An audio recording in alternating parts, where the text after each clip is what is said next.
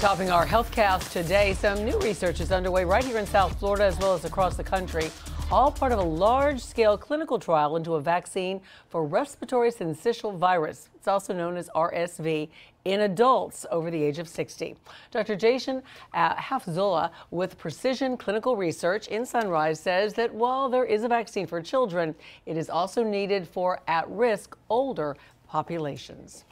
Among adults 65 and older, there are an estimated 144,000 hospitalizations for this, with nearly 14,000 deaths from RSV. So, unfortunately, it is a not so well known killer. Dr. Hafizullah says that RSV is actually more contagious than COVID and is showing up now later in the season, possibly infecting people whose lungs may have already been impaired by the coronavirus.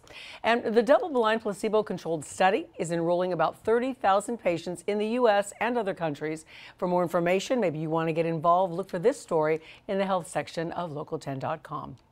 And we do have another reason for new moms to consider breastfeeding their babies. A recent study found that children who were breastfed for at least 6 to 12 months after birth saw a 61% lower risk for type 1 diabetes versus children who were breastfed for less time.